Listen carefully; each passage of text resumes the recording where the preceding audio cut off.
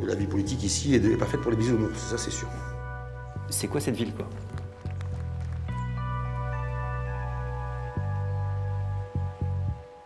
Je cherche la tombe de Gaston Defer.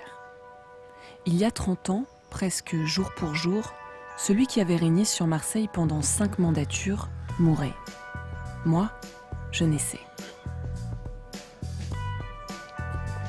On pourrait presque croire que tout n'est plus qu'hommage. Pourtant, j'entends encore parler de lui comme celui qui a tout inventé du système politique marseillais et auquel je suis confronté encore aujourd'hui.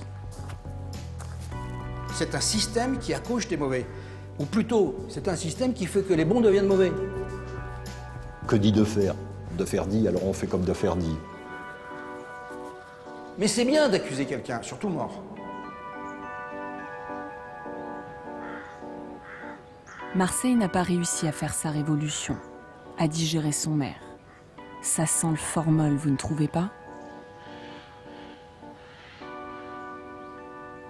Alors que s'est-il passé pour qu'en 30 ans, si peu de choses évoluent dans la manière de gouverner Marseille? La faute à Gaston ou à ses héritiers?